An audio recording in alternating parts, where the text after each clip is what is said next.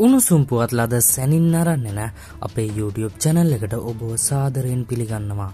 මෙන්න දැල් ලැබුණු විශේෂ පුවතක්. පෙබරවාරි හත සිට සියලු ශ්‍රේණිවල සිසුන්ට නිමාඩු.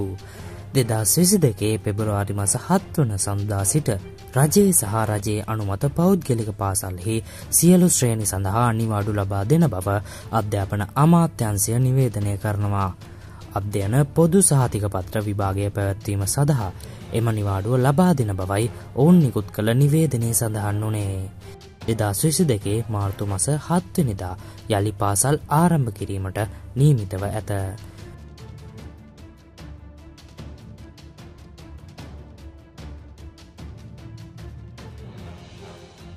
මෙවැනි පුවත් ලද සැනින් අරබන්න.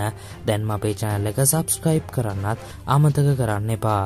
ඒ වගේම ඔබගේ අදහස් පහලින් කමෙන්ට් කරයි යන්නත් අමතක කරන්න එපා. ඔබ සැමට සුබ දවසක්.